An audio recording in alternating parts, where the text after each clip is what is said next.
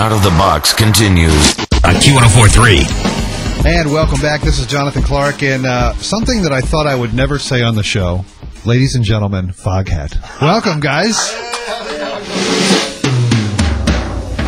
Roger Earl, Craig MacGregor, Bryan Bassett, and Charlie Huhn from the band live in the studio with us. And Foghat just put out a live album called Foghat Live 2. Actually, it's just coming out June 26th.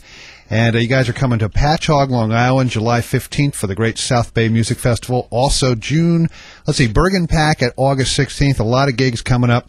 Roger, you were there at the very beginning. And in fact, the beginning was actually Savoy Brown, and then it was Foghat. So for all of our listeners right now that are saying now, Foghat, what happened to Foghat? Tell us sort of the brief history of how we've got to this version of Foghat that we have in the room right now. A great deal of luck, actually.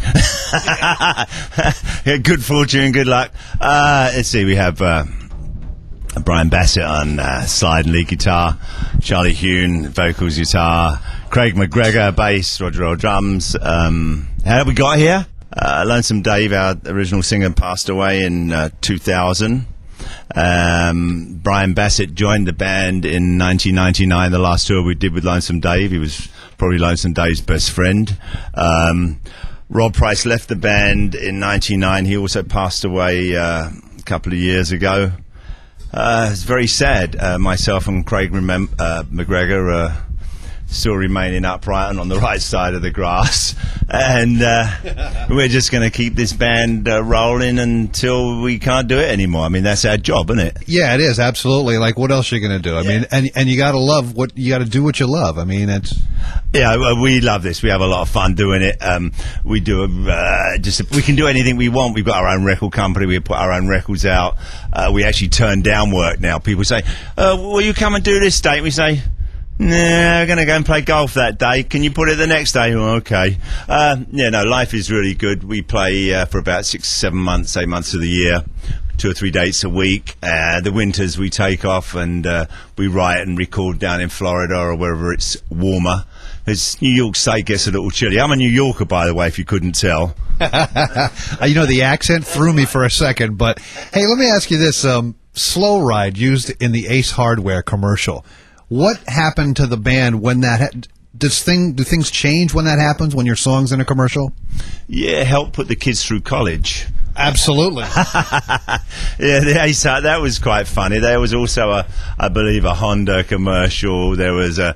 Uh, there was a hamburger commercial. Dave didn't approve of that though. Uh, he was a vegetarian. Uh, but um, yeah, it's. Uh, I don't have a problem with that. Uh, it's. Um, in fact, I, it's funny. You know, the kids and the grandkids listen to it and go, "Oh, granddad, you're on the telly." right. I mean, uh, do you find that you have a young audience coming to the shows because of uh, things like that, or? Um, uh, there, there, well, there were a number of movie soundtracks that we've had, like uh, Slow Ride, uh, Just Want to Make Love to You and Fool for the City on. Also, I think Road Fever was on one, and uh, yeah, uh. We get we have got um, a younger audience coming to the shows. We do a lot of rock festivals and city festivals all over the summer, and uh, yeah, we get a lot of people like that, twelve to 20, 25 year olds.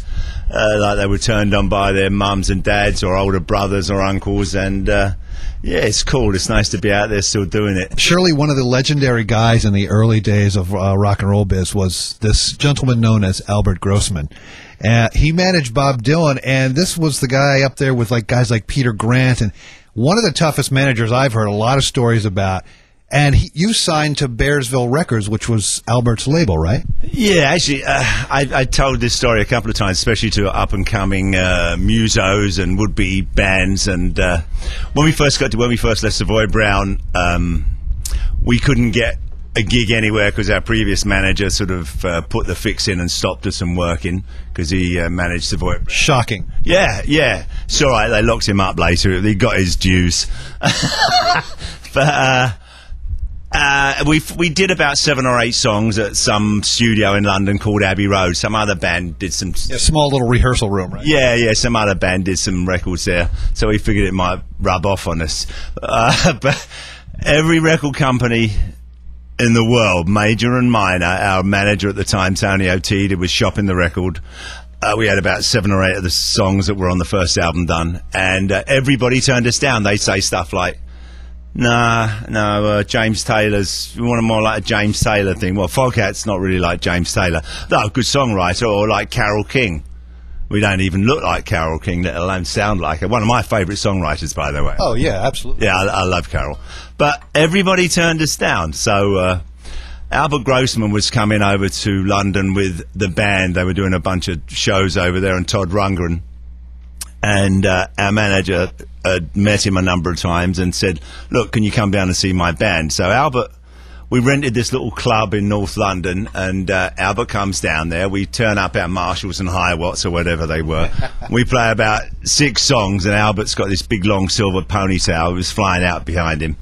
So uh, after we finish like the songs, we were all sweaty, and we come over and go, "What do you think, Albert?" And he goes. Well, hey, is there any way we can get some tin biscuits around here? so I said, yeah, there's a hotel across the road. So we went across the road and he ordered some tea and biscuits all round, which is a good sign. It's a good sign. And uh, Albert said, well, hey, let's do it. And I remember to this day how I felt. Everybody else had turned us down, and I, I mean, I had a lot of faith in the band and, and, and like Dave's and Rod's abilities, but when he said it, I mean, it was like it was a thrill. So for all you would be musos out there and bands who are looking for a gig and looking for a deal, don't give up. If it's what you want to do, do it. Play because you love to play.